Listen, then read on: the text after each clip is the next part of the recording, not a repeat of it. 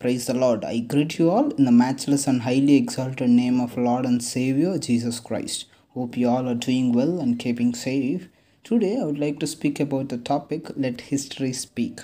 For this, I took an example of William Carey. Do you think that a cobbler can change the world? You need to believe that William Carey was born to mend the world. He who set his feet on Kolkata in the year 1793 did not return to his native land. He strived hard to, the, to do Lord's ministry for 40 years. That took exceedingly well, problems and struggles enveloped his life. His beloved wife suffered from mental disorder. His child too died of sickness. He turned trials into successes. He translated the Bible into Bengali language and published it. He was responsible for the publishing of Bible in several languages. He was responsible for translating the whole Bible in 20 languages and the New Testament in 40 languages.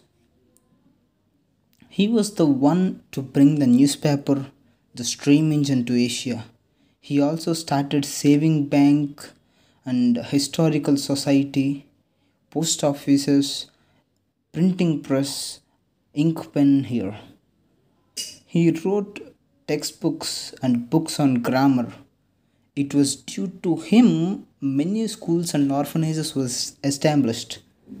He eradicated the social evils such as sati, the practice of a young wife getting into funeral pyre on the event of her husband's death and child marriages.